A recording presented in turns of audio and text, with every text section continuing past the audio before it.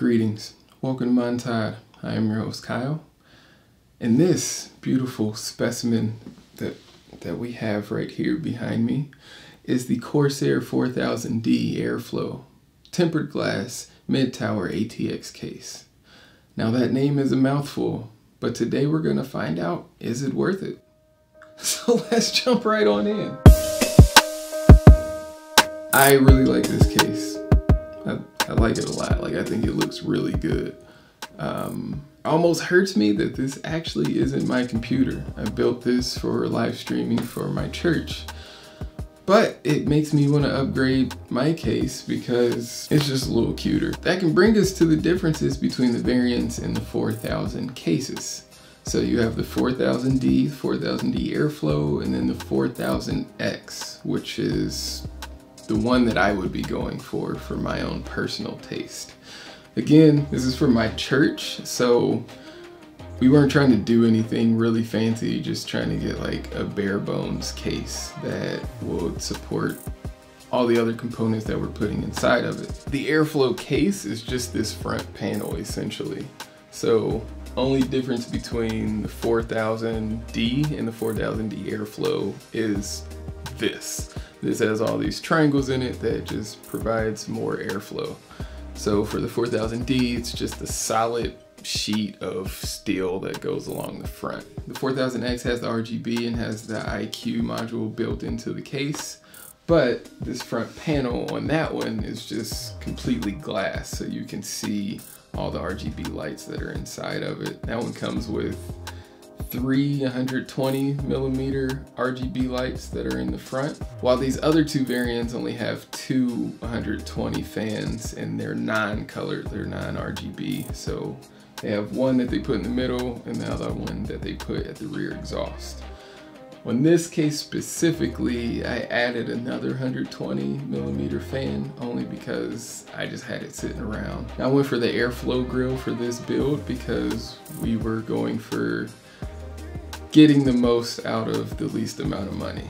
So with more natural airflow going through the system, I don't have to spend more money on more robust cooling systems because everything is just kind of open on this and I'll get to that in a second.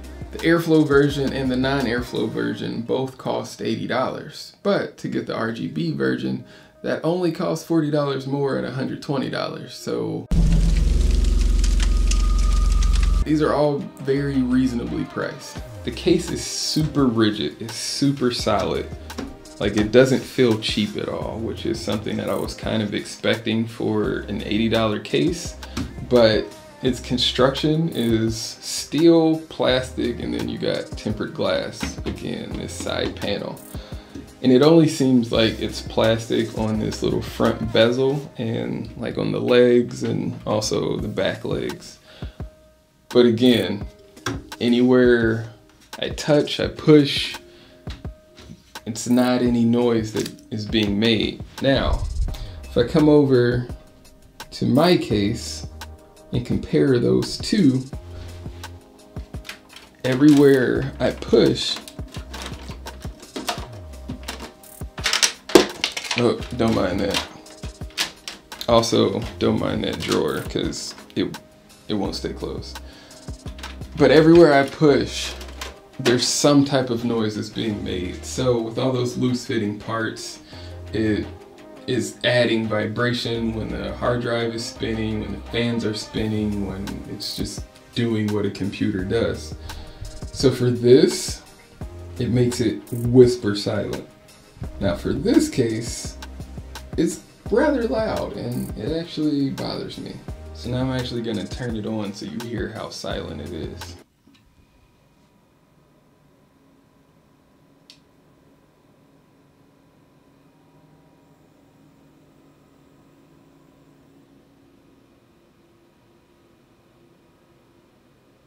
If you ever wanted to switch out the front panel with a different front panel from one of the other variants, you can just pop it off real easy. And then under this, you see your filter. So you have a front filter, dust filter, I should say. Take that off. You have your top dust filter comes off very easily. It's just magnetically placed on there. There's no filter for the rear, but there is another dust filter that is on the bottom of the case that is actually, I don't want to set it down, but that is there for the power supply unit.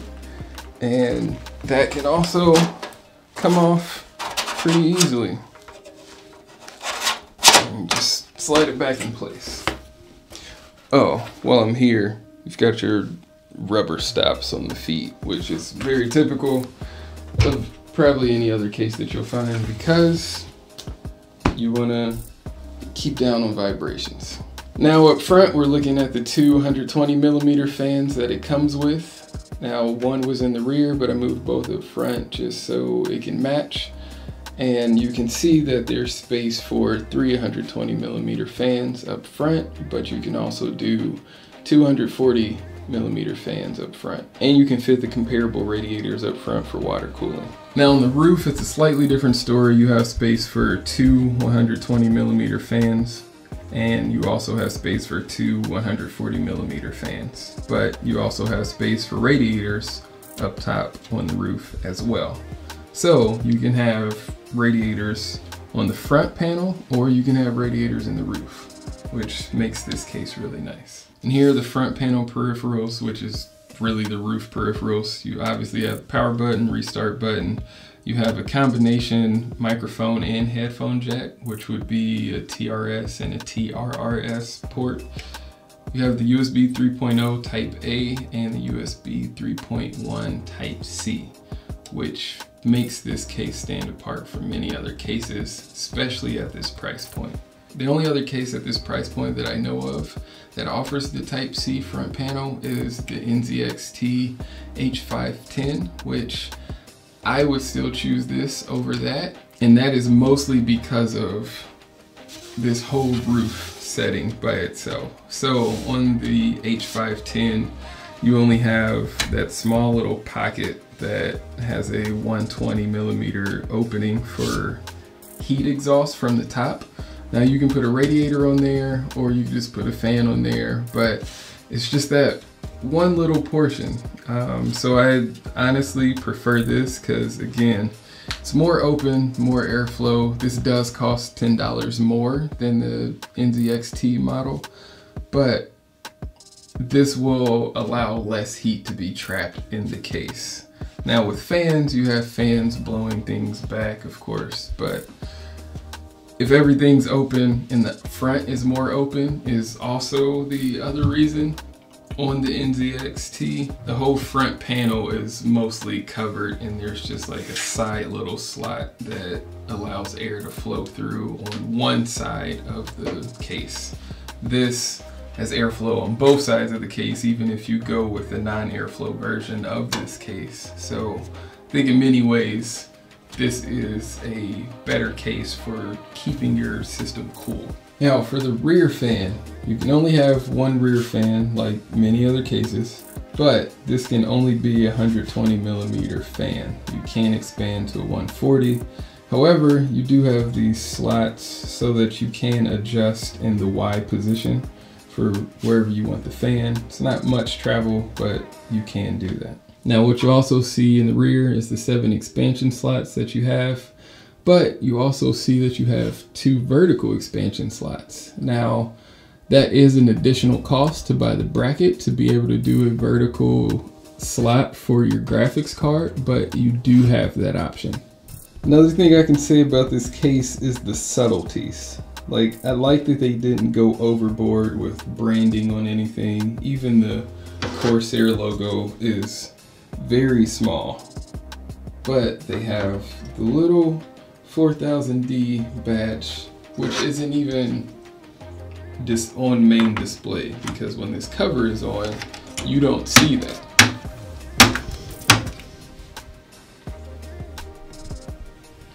And you have another one of those badges on the inside of the side panel where the tempered glass is. But also speaking of the subtleties, I love these screws that they used on here. One, I like that they have the little like neon green, neon yellow, whatever color you want to call it, which matches the little Corsair tab on the top that you pull the dust filter off with. It just adds just a tiny little bit of flair. They have it so that it doesn't just fall out. Like you don't have to take these off. You don't have to worry about losing them. You can screw it all the way out if you need to, but it's just a few turns and then it's off. And then you pop it out.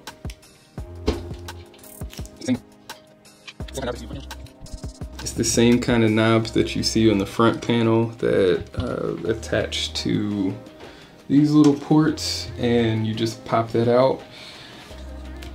And this, they make it also pretty simple. So you have all these little hooks, they kind of just fall in place and then it slides in so that it stays locked into position.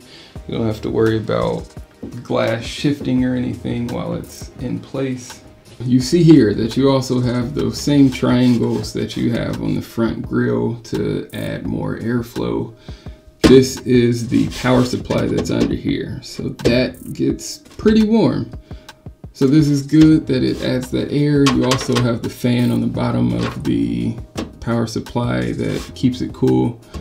But then you have these little screws here. Now what these for are for your solid state drives if you so choose to display those up front. But if not, you can keep them on the other side, on the other panel, on the butt end of the motherboard, and you can keep them out of sight. But you know what you could do? Put a cute little rubber ducky in there. And then you can see it all the time while you're working but I'm not actually going to because again, this isn't my computer, so I'm gonna take that back out. I also really like this pass through that it has from the front end of the motherboard to the butt end on the other side panel. So that's where all the cords are housed and the cable management system is all set up on that other side. So one negative that I can point out is if you look at the top panel here, the roof of everything, there isn't a lot of space between the roof and your memory cards and in general the motherboard. Like there's really not a lot of space for fans.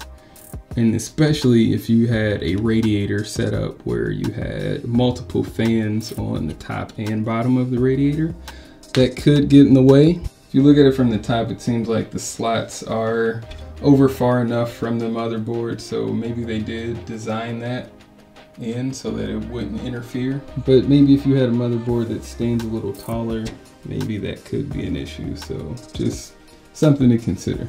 Now for the booty end. Taking off this panel again same kind of screws same kind of tabs that don't fall out which is nice. Now this is truly one of the cleanest butt ends that I've seen. It's very shallow, very thin, but there's still a lot of room to put everything. So you have, this is that pass through that I showed you on the other end, and it's like pretty big, like you can fit, this is the main 24 pin connection. Um, this is the biggest cord that I would ever be running over. And it has all these little like tabs just all over the place, like almost everywhere, even down here on the bottom. And all those are for using zip ties that is supplied with the case and you can zip everything down if anything's in the way because again, with it being so shallow, what I found initially was when I put the side panel back on, it was some cords were sticking too far out and it was creating a bulge in the side panel. So be careful of that. Make sure you tie down as much as you can.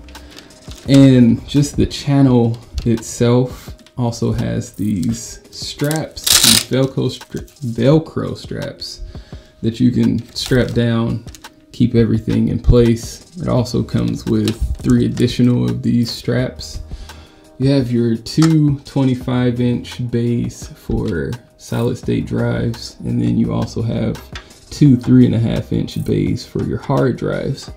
Now this, you can take out, move over, you can really only move it from left to right. Like there's not much you can do there. But these, again, you can move to the other side and you can have them on display right where I showed you. And again, has these similar screw tabs that have a little flash to them. So you also have a little space here to put any RGB lighting or any LED lighting, anything like that. You have not so much space on the sides, but definitely down here. You can put something, put a little something up here also, but with it being black, I think it would look much better if you had a white case for RGB lighting because with that you have a little more reflection in the light, gives a little more pop. So one more notable I will say, the tempered glass does have a slight tint, so if you're trying to see things on the inside, it may have some obstruction of view. Now again, this is just the church computer. We weren't trying to do all the fancy stuff, not trying to make it look sexy. But there is some RGB lighting that's on the motherboard by itself. And you can see that now. So now I'm gonna put on the glass siding. And now you can't really see it, nor can you really see the duck, because again, it's tinted. Yes, I still have the plastic on, because I still have to transport it to the church and I'm scared of getting it scratched and or getting my fingerprints all over it. So leave me alone. So to answer the question, is the Corsair 4000D Airflow tempered glass mid tower ATX case worth it? You gosh darn right it is. All the cable management, all the design and offsets, even having the ability to do a vertical graphics card. It has so much in this case.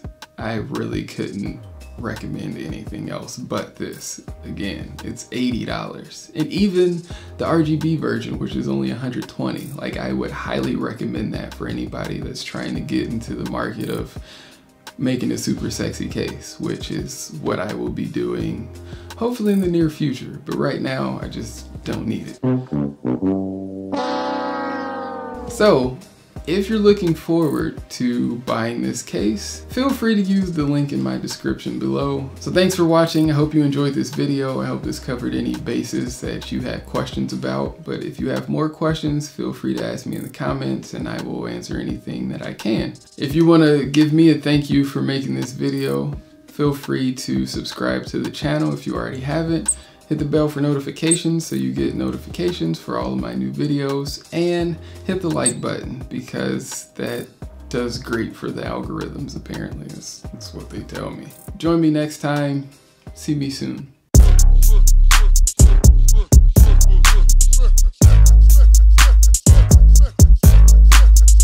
Is the elephant heavy? I'm coming back, baby.